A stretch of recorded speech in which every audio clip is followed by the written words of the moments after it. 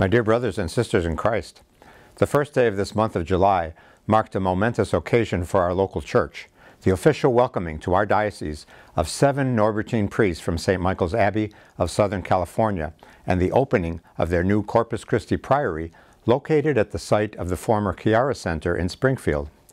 The members of this community are known officially as the Canons Regular of Premontre, but are also called the Premonstratensians or simply the Norbertines, after their founder, St. Norbert, who was ordained a priest at the Cathedral of Cologne and began his ministry as an itinerant preacher, traveling throughout the countryside of Germany, Belgium, and France. At the request of Pope Calixtus II and with his bishop's encouragement, Norbert settled in the valley of Premontre, northern France, in the spring of 1120. On Christmas Day, 1121, Norbert and his followers professed their first vows, adopting the rule of St. Augustine. Thus, the Norbertine order was born. Named Archbishop of Magdeburg in 1126, Norbert worked tirelessly for the reform of the church until his death on June 6, 1134. The Norbertines' primary ministry here will be the Evermode Institute, named after St. Evermode, one of St. Norbert's closest companions, and a bishop renowned for his fearless and tireless defense of the gospel. The Evermode Institute will teach the Catholic faith to those who are most responsible for sharing the gospel, to Catholic school teachers and administrators, to catechists and parishes, and to parents and families. The Corpus Christi Priory and the Evermode Institute did not come about either by sheer accident or by some clever human design. I believe divine providence guided these events, so I would like to share with you some behind-the-scenes background information about how the Norbertines and the Evermode Institute came to our diocese at the site of the mother house of the Hospital Sisters of St. Francis.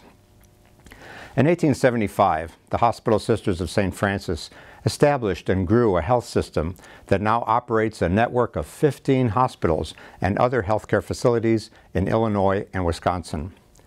After starting St. John's Hospital in 1875 in downtown Springfield, where the Hospital Sisters also lived, in 1917 the Sisters purchased 500 acres of land situated six miles northeast of Springfield, for the building of St. John's Tuberculosis Sanitarium, and later the construction of St. Francis of Assisi Church and St. Francis Convent. This sacred place is a visible and powerful element of the sisters' enduring legacy.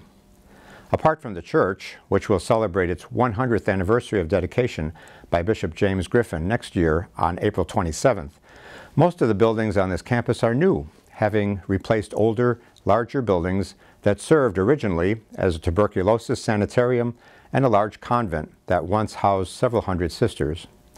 About 15 years ago, the sisters replaced those buildings with the current facilities, trusting that, in some form, they would be of use to the church for years to come.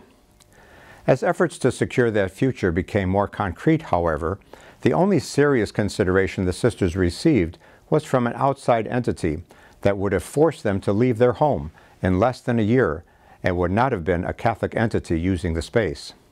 This was a non-starter for the sisters.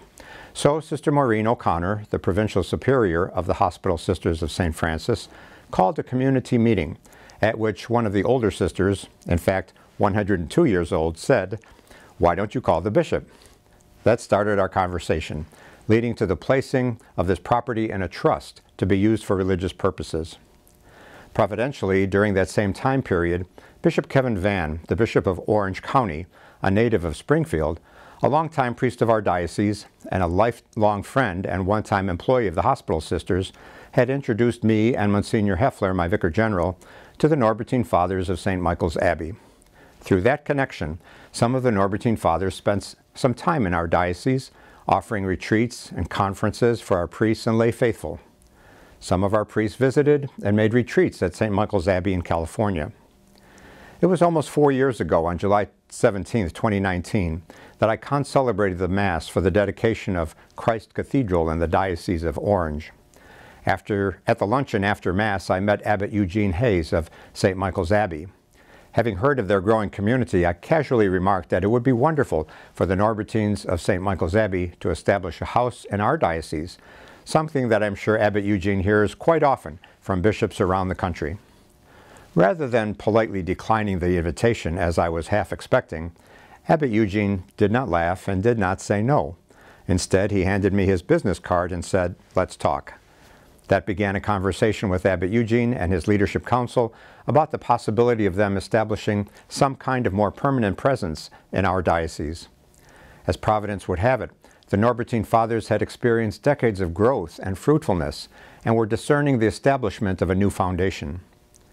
In turn, when Sister Maureen approached me and Monsignor Hoefler to discuss the future of the property, it quickly became clear to all of us that the hand of God was at work in this, that so much had been preordained and set in motion, that all the foundation of all these connections had been established far in advance. The Hospital Sisters of St. Francis will continue to live on the property, and the Norbertine Fathers will provide for their pastoral care. So that is some of the backstory of how this beautiful new chapter in the life of our diocese came about. And I pray that this divinely inspired endeavor will flourish for many years to come. May God give us this grace. Amen.